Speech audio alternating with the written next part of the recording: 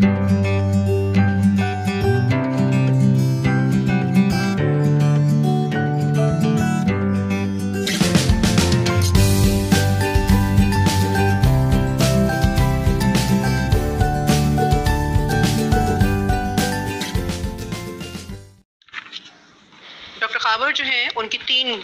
किताबें जो हैं, वो शाया हो चुकी हैं असिस्टेंट प्रोफेसर की हैसियत से। बहाउद्दीन जक्रिया यूनिवर्सिटी मुल्तान में काम कर रहे हैं और आपके मकाले का उनवान है इक्कीसवीं सदी में उर्दू तहकीक सूरत हाल तकाजे और इम्कान डॉक्टर खावर नवाजिश तो है इक्कीसवीं सदी में उर्दू तहकीक सूरत हाल तकाजे और इम्कान इसमें कुछ मैं दो तीन सफ़ात आपके सामने पढ़ूँगा, मकाला तो ज़रा थोड़ा सा तवील है। मैं बीसवीं सदी का आदमी, इक्कीसवीं सदी में खुद को जिस चीज़ से सबसे ज़्यादा महरूम महसूस करने लगा हूँ, वो है सवाल। वो सवाल जो मेरे स्मार्टफ़ोन के ब्लैक होल में गिरकर खत्म हो चुका है। वो सवाल जिसकी बुनियाद तजस्स पर थी। वो वो तजस्स जो अपने माहौल के मुशाहिदे से जुड़ा हुआ था। वो तजस्स जो मेरे अंदर क्या है क्यों है कैसे है कब से है ऐसे सवाल पैदा करता रहता था मुझे कहने दीजिए कि ये सवाल ही है जो इंसान को ज़िंदा रखता है। यही ज़िंदगी की तहरीक है। मुमकिन है कुछ लोगों का ख्याल हो कि महक्कीन को अपने सवाल के जवाब पाकर जो मुसरत महसूस होती है वही हकीकी मुसरत है। मेरा ये मानना है कि हर जवाब के अंदर भी एक सवाल होता है असल मुसरत उस सवाल की तलाश यूँ महसूस होता है कि 21वीं सदी ये तय करके आई है कि हमारे तजस्स और सवालात को ख़त्म कर दिया जाए। इस सदी में वही इंसान हकीकतन ज़िंदा होगा जो अपने तजस्स और सवालात के खात्मे की कोशिश के खिलाफ लड़ता रहेगा। इंफॉर्मेशन टेक्नोलॉजी और बायोटेक्नोलॉजी के इनकलाबात खारजी दुनिया के बाद अब हमारी दाखिली दुनिया पर दस्तरस की तरफ़ बढ़ रहे हैं, जो तजस्स और गौर फ़िक्र की दुनिया है। लेकिन हमारा ऐसी बातों की तरफ़ अमूमी रवैया अव्वलन, बेयकीनी और सानियन खौफ से पैदा होने वाले रद्द अमल का जबकि हकीकत यह है कि हम इस इनकलाब का हिस्सा बन रहे हैं। आर्टिफिशियल इंटेलिजेंस आहिस्ता आहिस्ता हमारे एक्शंस और रिएक्शंस को मॉनिटर करके ऐसा फिक डेटा तरतीब दे रही है, वो मखसूस रियाजियाती फार्मूलों के जेर असर इंसानी दिमाग पर मुकम्मल कंट्रोल हासिल कर सकता है। ऐसे में हमारे सवाल भी मैन्युफैक्चर्ड होंगे और उनके जवाब की तलाश सिर्फ़ एक मशीनी सरगर्मी बनकर रह जाएगी, ना कि मसरत का सरचश साइंसी तरक्की की अब तक की तारीख अगर एक तरफ़ मशीनों की ईजाद में इंसानी जहन की बेपना सलाहियतों का इजहार है तो दूसरी तरफ़ उन मशीनों के गुनागों इस्तेमाल में गैर दानशमंदी और गैर मोहताती का भी खुला इजहार खुदा मालूम ये तरक्की हमें अभी क्या क्या दिखलाएगी और मजीद कहाँ ले जाएगी। लेकिन इतना ज़रूर महसूस होता है कि हमारे महसूस भी हमारी मिल्कियत ना हो। याकूब उस्मानी का एक शेर है, चाहती है आखिर क्या आ गई, खुदा मालूम। कितने रंग बदलेगी ज़िंदगी, खुदा मालूम। सुनते और पढ़ते आए हैं कि अदब इंसानी एहसास के लतीफ इजहार का नाम है। अगर 21वीं सदी एहसास की सूरत तब्दील करती है तो लुत्फ के मानी भी तब, तब, तब्दील हो जाएँगे। और यूँ इस सदी का अदब जिस इंफरादियत का हामिल होगा वो लम्हाती तास्तर है। अब ये ढकी छुपी बात नहीं रही कि टिकटॉक जनरेशन एक हज़ार से जायद सफात का वॉर एंड पीस पढ़ने में दिलचस्पी नहीं रखती। इस जनरेशन के पास एक जगह ठहराव का कुल दौरानिया चंद सेकंड्स हैं। उन्हीं चंद सेकंड्स में किसी एक ट्वीट या फेसबुक पोस्ट या किसी मोटिवेशनल स्पीकर के एक जुमले ने अपना कोई तासुर कायम करना है तो कर सकता है। बसूरत दीकर सब कुछ दिमाग की ट्रैश कैन में चला जाएगा। हमारी नई नस्ल के जहनों को पढ़कर याद रखने की बजाय देख कर याद रखने का आदि बना दिया गया। बज़ाहिर ये मामला इंसान को जहनी मुशक्क़त से आज़ाद करके सहल पसंद बनाने का लगता है। लेकिन दर हकीकत ये उसके जहनों को हज़ारों मेगाबाइट डेटा से भर देने का अमल है। जिसके बाद हर शख्स को ये सोच बिल्कुल जायज़ लगती है कि वो ना सिर्फ़ दूसरे इंसानों से ज़्यादा जानता है बल्कि अपने से पहली नस्लों से भी ज़्यादा इल्म रखता है। मालूमात का फ्रेब हमारी मौजूदा दुनिया का सबसे बड़ा फ्रेब है और इस फ्रेब का सबसे बड़ा शिकार वो इंसानी तजस्स है जो अपने माहौल के मुशाहिदे से पैदा होना था और जिसने इंसान के तखयल को कार, अपनी कार फरमाई के ज़रिए मुख्तलिफ़ तस्वीर तरतीब देने और फिर उन्हें सफ़ाई किरतास पर मुंतकिल करने की तरफ़ लाना था। उस तजस्स को अनवांटेड फ्लो ऑफ़ नॉलेज के नीचे दबाया जा रहा है। सवाल खा अपनी आम हालत में ही हो गूगल उसका कुछ ना कुछ जवाब घड़कर सामने रख देता है। तजस्स के खात्मे के साथ ही दूसरा काम तशवीश के वजूद पर जरबकारी है। अब जरा सोचिए कि इन दोनों बुनियादी इंसानी जबिलतों पर एल्गोरिथम की हकूमत के बाद अदब की तखलीक की कहानी क्या होगी?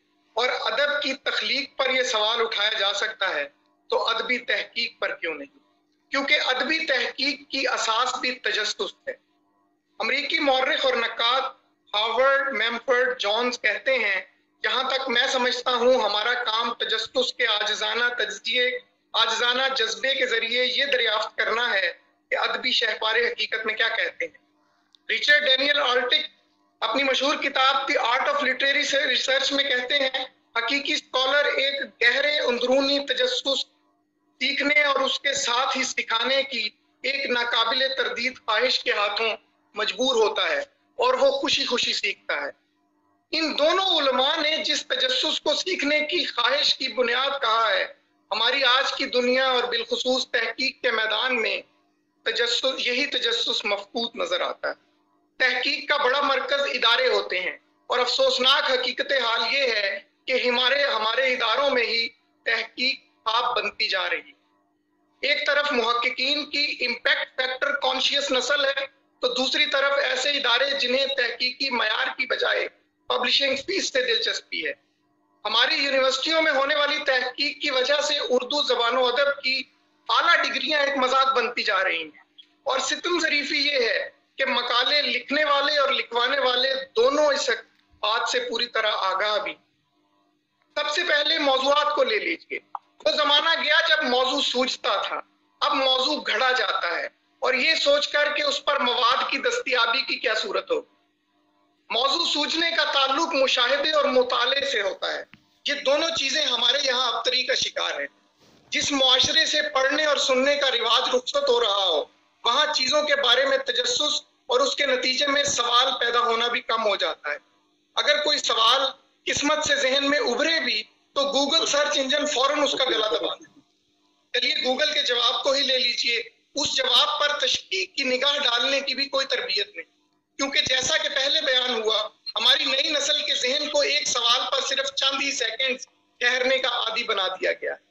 उन्हें गूगल के ज़रिए सामने आने वाले सच से आगे और पीछे मौजूद सच के वजूद से कोई दिलचस्पी नहीं।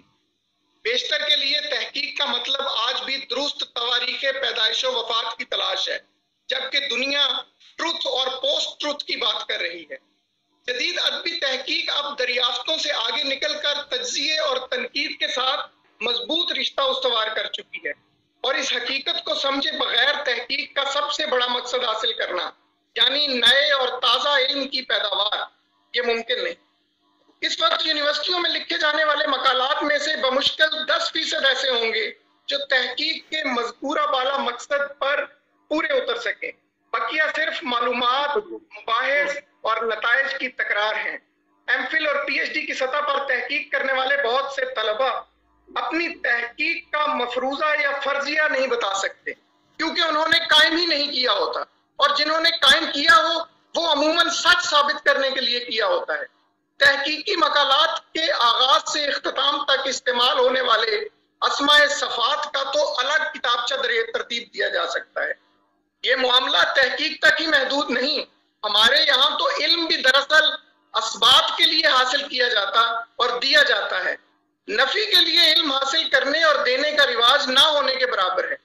मारूजियत तहकीक की बुनियादी कदर ज़रूर है, लेकिन हमारे यहाँ इसकी बात ही अबस है।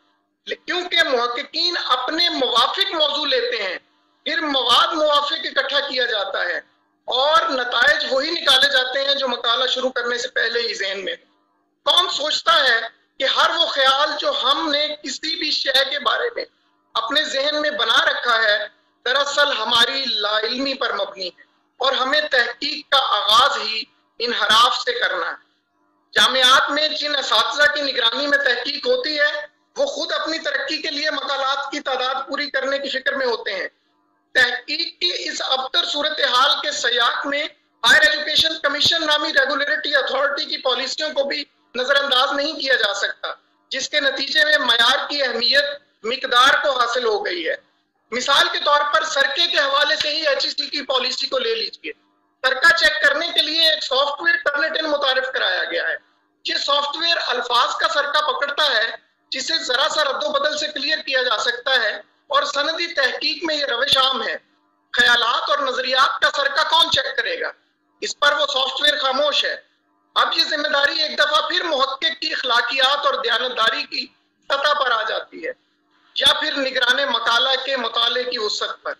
हमारे यहाँ जामियात में हर सतह की अमली तहकीक के आगाज़ से पहले एक कोर्स वर्क भी कराया जाता है, जिसका बुनियादी मकसद तलबा के जहन को तहकीक के लिए पूरी तरह तैयार करना होता है, लेकिन उसे बहुत सरसरी अंदाज में लिया जाता है। उर्दू में रिसर्च मेथोडोलॉजी पढ़ाने पर तवज्जा कम है, और यही मजकूरा मसाइल की एक वजह है। और जहाँ जहाँ ये कोर्सेज पढ़ाए जा रहे हैं, वहाँ आज भी तलबा ज्ञानचंद जैन की तहकीक का फन और एम सुल्ताना बख्श की उर्दू में उसूल तहकीक वगैरह। किताबों तक ही महदूद रहते हैं। इस पर कोई दूसरी राय नहीं कि ये किताबें बुनियादी नौीयत के बहुत अहम मुबाहिस पर मुश्तमिल हैं। लेकिन तहकीक अब इन मुबाहिस से बहुत आगे निकल चुकी है। तो जब तक उर्दू के तलबा और महक्कीन नए नॉलेज से मुस्तफ़ नहीं होंगे वो तहकीक के जदीद मैारात को नहीं पहुँच सकेंगे। इक्कीसवीं सदी के इब्तदाई 20 वर्षों में उर्दू तहकीक की दिगरगू हालत को देखते हुए माँ सिवाय अपनी समत में तब्दीली लाने के कोई और चारा नज़र नहीं आता। और इसका आगाज़ बैनुलूमी और बैनुल लिसानी मुतालियात से होना चाहिए। उर्दू तहकीक की सरवतमंदी का इन्हसार नए सवाल के पैदा होने और उनके जवाब की तलाश में नए अदबी ऐवानों का रुख करने पर है। ये बड़ी मुजहका खेज बात है कि हमारे तलबा और महक्कीन अपने तहकीकी मकालात के मुजवजा मौजूद यानी अशखास के ज़िंदा होने पर इसलिए मुशवश हों कि उनका मकाला मुकम्मल होने के बाद अगर मौजूदा शख्सियत की कोई किताब सामने आ गई तो उनके नतज असरअंदाज होंगे। इस सूरत हाल से निकलने के लिए क्या ये मुनासिब नहीं कि मौजूदा शख्सियत के तख्लीकी अदब का किसी दूसरी जबान में लिखने वाले के तख्लीकी अदब से मुवजना कर लिया जाए? हाँ ये ज़रूर है कि इसके लिए महक्क को एक से ज़्यादा जुबानें आना ज़रूरी है। उर्दू अदब का मुकामी जुबानों के अदब और आलमी अदब के साथ मवाजने का रुझान अभी तक कम है। हमारे महक्कीन को शख्सियत और फन ऐसे मौजूद को कुछ अरसे के लिए तर्क करके तो काबली मुताल की तरफ़ आना होगा।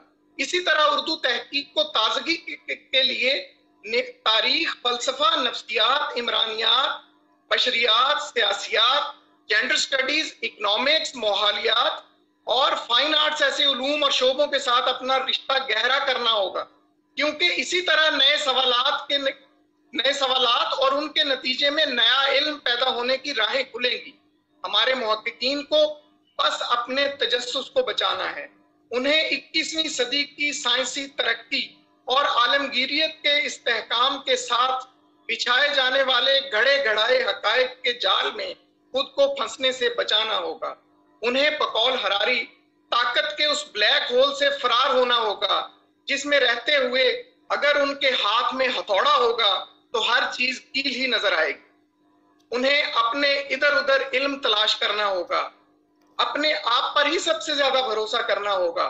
खारजी हकायक का सरचश्मा उन्हें अपने बातन में ही नज़र आएगा, सवाल वहीं से फूटेगा, और सवाल ज़िंदा है तो तहकीक ज़िंदा है।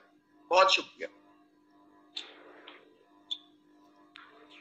बहुत शानदार मुखरा भाई बहुत अच्छा। बहुत वाह वाह बहुत अच्छा।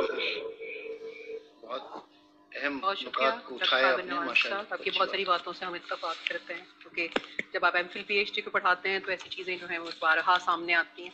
और इन चीज़ों पर अफसोस भी होता है कि वाकई इस पर जो है बहुत सारा काम करने की हमें ज़रूरत है।